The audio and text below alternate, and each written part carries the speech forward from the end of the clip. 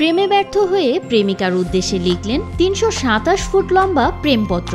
প্রেমের যন্ত্রণা থাকলেও সেই দীর্ঘ প্রেমপত্র দিয়েই বিশ্ব রেকর্ডের মালিক হলেন পশ্চিমবঙ্গের আসানসোলের বাসিন্দা অনুপম ঘোষাল। তার প্রেমপত্র এখন থেকে লিখিত থাকবে গিনেস বুক অফ ওয়ার্ল্ড রেকর্ডসে ঘুমের ওষুধ আর মণিপুরি গাঁজা এখন আমার একমাত্র সঙ্গী। প্রতিদিনই ভাবি চলে যাব। অথচ যেতেও পারি না। আর্থিক সমস্যা থাকা সত্ত্বেও প্রাক্তন প্রেমিকা পারমিতার প্রেমের সাগরে ডুব দিয়ে বিয়েবাড়ির আড়াই কেজি সস্তা রোল পেপারে লিখে ফেললেন তিনশো সাতাশ ফুট লম্বা প্রেমপত্র, যেখানে তিনি তুলে ধরেন প্রাক্তন প্রেমিকার প্রতি তার জমাট বাঁধা অনুভূতিগুলো। দু হাজার সাল থেকে নাওয়া খাওয়া ভুলে টানা বাহাত্তর ঘণ্টা শুধু লিখেই গেছেন তিনি। অনুপম রোল পেপারে একের পর এক লাইন লিখতে থাকেন। প্রথমে তিনি ভেবেছিলেন কয়েক লাইন লিখার পর তা কাঁচি দিয়ে কেটে ফেলবেন। কিন্তু যখন কাঁচি দিয়ে কাটতে যান, বুকের বা পাশে যেন তিনি ব্যথা অনুভব করেন।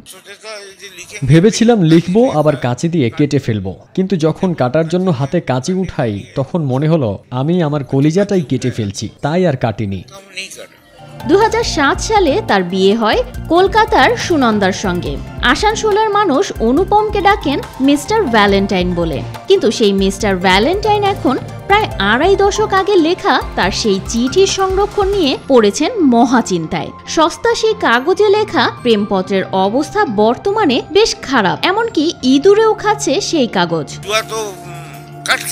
ইঁদুর সব কেটে ফেলবে ভেবেছি। এখন দেখি অনেকটাই কেটে ফেলেছে। তবে অনুপমের স্ত্রী দৌড়ঝাঁপ করে দীর্ঘ প্রেমপত্রটিকে বইয়ের আকারে প্রকাশিত করতে সাহায্য করেন তাকে। প্রাক্তন প্রেমিকাকে উদ্দেশ্য করে আটটি স্বরচিত গানও রয়েছে তাতে। ভারতবর্ষে এটি প্রথম প্রেমপত্র নিয়ে বিশ্ব রেকর্ড। আর তাই কলকাতার দুটি নামজাদা প্রকাশনা সংস্থা ইতিমধ্যেই এটিকে বই হিসেবে প্রকাশ করেছে যেখানে বেস্ট সেলার হিসেবে চিহ্নিত হয়েছে বইটি।